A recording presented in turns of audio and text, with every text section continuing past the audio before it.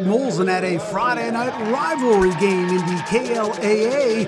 The Brighton Bulldogs in the all black uniforms visiting the Hartland Eagles wearing the all whites for this one.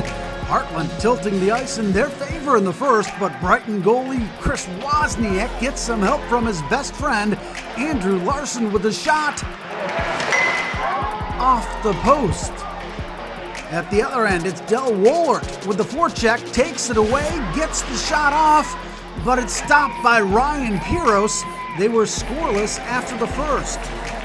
Early in the second, it's Andrew Larson with another great chance for Hartland right at the side of the net, but Wozniak somehow keeps it out.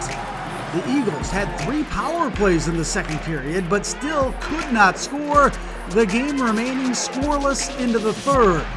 Here comes Wohlert with another chance for the Bulldogs, makes the move, but Shane Paxton comes flying back to knock it away. Adam Patilla then comes flying up the ice for the Eagles, but again, he's denied by Wozniak.